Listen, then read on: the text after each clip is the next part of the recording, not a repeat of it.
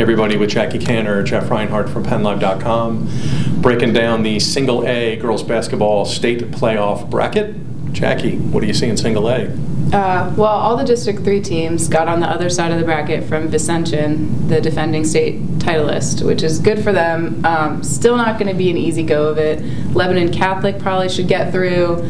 Greenwood gets paired with Philmont Christian, which made it to the state semis last year, and that's going to be a tough one. And Halifax, that could be a toss up. They're going up against Mansfield, which is the District 4 champion, and they've got um, some some good potential. They've got Morgan Cox. They took the Tri Valley League title, so that could be a toss up.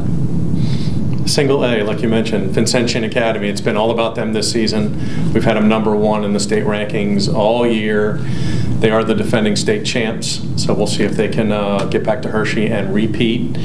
Love this first round game. Kennedy Catholic against Elk County Catholic. They only have a couple of losses between them.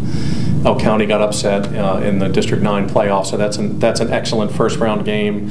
Keep an eye on Old Forge. Uh, they lost to Vincentian in the state finals last year, just 12 and 10 for Old Forge, but they won their district and they're back. We'll see if they can make another run.